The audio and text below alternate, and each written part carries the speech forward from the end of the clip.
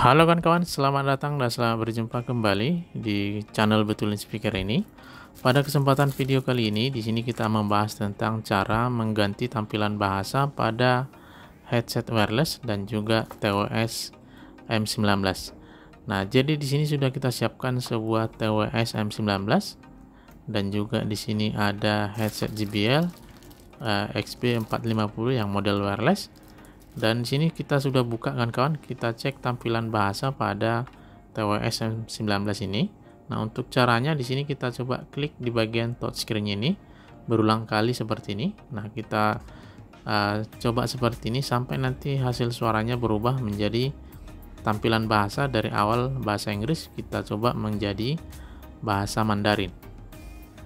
Nah jadi di sini saat kita coba masih menggunakan bahasa Inggris Nah, bisa juga sebaliknya dari bahasa Mandarin menjadi bahasa Inggris.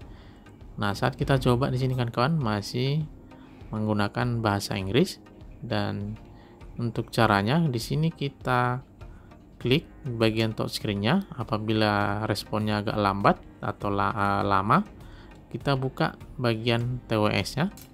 Nah, di sini ada terdapat pin kuningan, kita sentuh di situ di bagian kuningannya langsung supaya responnya lebih cepat.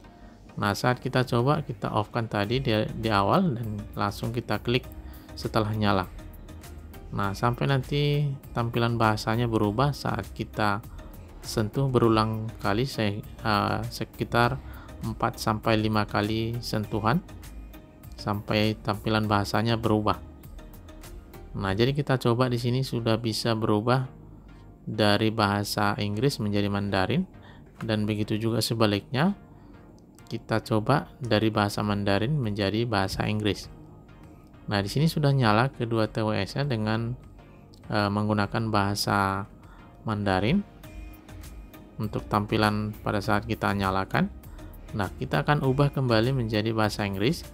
Di sini kita akan off-kan. Nah, saat kita off-kan, kita on-kan kembali. Nah, di sini ada pin kuningan yang ada di papan PCB-nya di sini untuk uh, respon lebih cepat kita buka casingnya ini tadi. Nah, di sini harus uh, menyentuh atau uh, menempel pada bodinya supaya respon dari touchscreen-nya lebih cepat. Nah, jadi di sini kita coba untuk bahasanya sudah bisa berubah. Kita coba seperti ini caranya. Kita klik dengan 4 sampai 5 kali sentuhan pada touchscreen-nya dan itu nanti langsung auto ganti tampilan bahasa. Nah untuk selanjutnya kita coba pada headset JBL XP450 ini. Nah kita coba hidupkan di sini dengan menekan tombol powernya.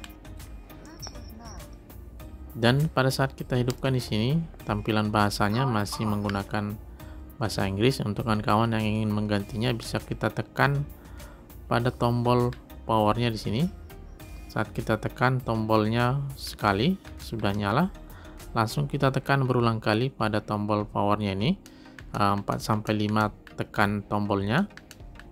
Nanti sampai bahasanya berubah menjadi bahasa Mandarin.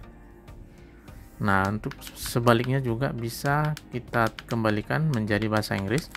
Uh, terlebih dahulu kita off kan tombol powernya lalu kita tekan on kan setelah on kita tekan tombol powernya sampai uh, eh, 4 sampai 5 kali kita tekan berulang kali sampai nanti tampilan bahasanya menjadi kembali bahasa yang kita inginkan.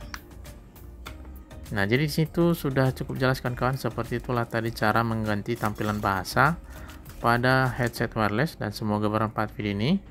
Jangan lupa tekan tombol subscribe, nyalakan loncengnya supaya kan kawan tidak ketinggalan dengan video kita yang terbaru.